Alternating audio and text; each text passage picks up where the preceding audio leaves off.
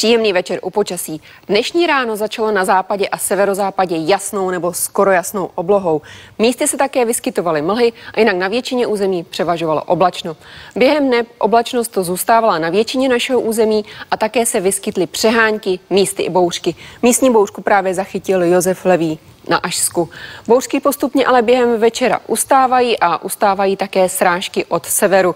Během následující noci bude jasno nebo skoro jasno jen na jihu území nebo na krajním východě.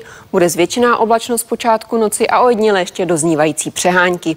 Během ranních hodin na východě a severovýchodě území musíme místy počítat se zataženou oblohou. Místy tam se bude vyskytovat právě nízká oblačnost. Ranní minima 15 až 11 stupňů Celsia.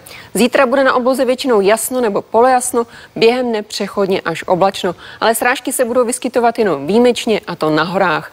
Maximální teploty 22 až 26 stupňů Celsia, na východě a severovýchodě našeho území jen teploty do 22 stupňů.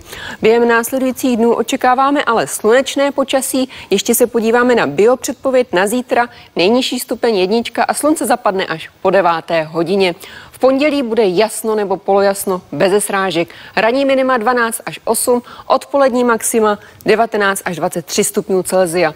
V úterý bude taktéž slunečno, jasno nebo polojasno, ale na severovýchodě bude přechodně i oblačno a jenom výjimečně se tam objeví přeháňka. Ranní minima 10-6, odpolední maxima 19-23, chladněji bude o něco na severovýchodě jen kolem 17 stupňů. A ve středu a ve čtvrtek očekáváme většinou oblačno, místy s občasným deštěm nebo přehánkami, ojediněle se může vyskytnout i bouřka. A postupně v závěru týdne příštího se nám bude oteplovat.